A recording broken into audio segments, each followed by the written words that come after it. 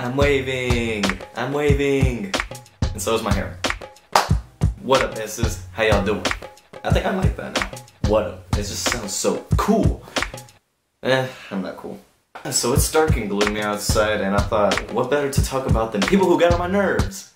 Now, just because I'm a nice guy doesn't mean that I don't have a limit of annoyance with people.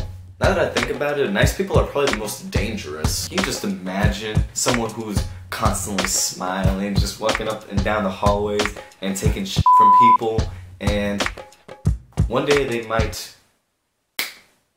Hey guys! Ew, bro, go away. Shit. Okay, you know what? I I tried, but if you guys don't start being nice to me, I might just lose it. Hmm. That was a little bit dark. What was I talking about? Right, annoying people. Now, first on my list is the people who act too weird. Don't get me wrong, I have a lot of weird friends, but there's there's only a certain point that you should be weird. Let me explain. If you have to blatantly the weirdest things imaginable to get attention, it's, you're doing too much. You're doing too much. Let me give you an example. Oh my god, Daniel, look at those people over there. They look so cool. They're probably talking about Starbucks and, and TV and stuff. Say something. Hey, I'm weird. Shit, shit, shit, shit, shit. Think, Daniel, think. Look, guys, I can shoot off my own dick. oh my god. That might have been a little overdramatic, but you get the point. You don't have to do crazy things just to make friends, man. Trust me. I used to be exactly like that. Then I found out that just being yourself makes you enough friends and gets your girlfriend.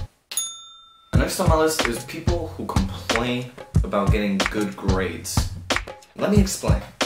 This is understandable. He's probably gonna get his ass whooped and all that shit, and he has every right to complain. You, on the other hand, don't. Shut the fuck up. Seriously. Now, a follow up to that one are people who can fall asleep in class and still get good grades. Ow!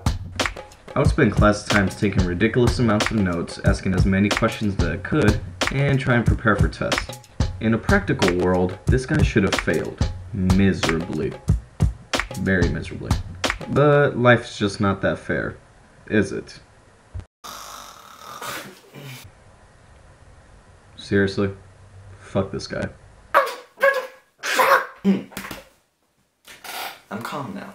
Thanks guys for watching my videos. I know it was kind of short, but I just got some new editing software and I'm trying it out so I can make even better videos in the future. So, comment, subscribe, like, share, whatever other YouTubers say.